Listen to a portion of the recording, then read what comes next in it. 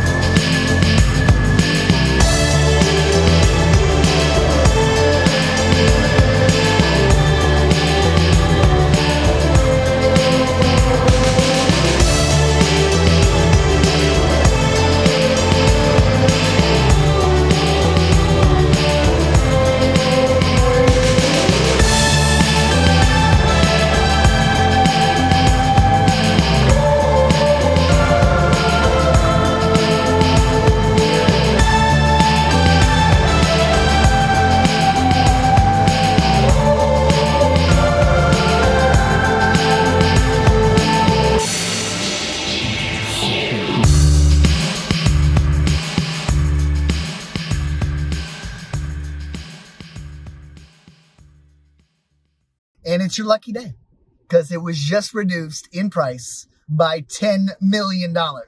So the listing price now is only a mere $68 million. So all you people watching out there that have that 68 million and you're looking for a property like this one, contact your boy Finn and let's uh, get into escrow.